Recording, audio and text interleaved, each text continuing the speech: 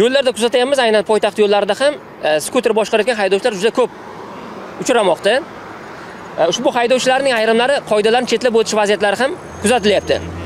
Bu haydovchilarga eslatib o'tamiz ular uchun ham qoidalar tartib belgilangan.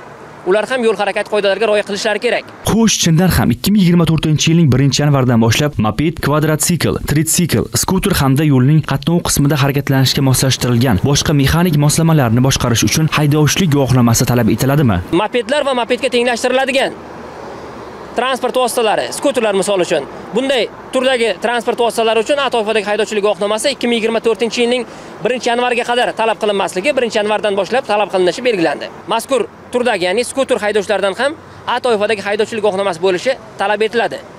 Ya'ni ular ham boshqa haydovchilar kabi avtomobil yo'llarida misol uchun yengil avtomobillarni oladigan bo'lsak ular bilan bir qatorda bir tasmada harakatlanyaptimi ular ham qoidalarni bilishi kerak.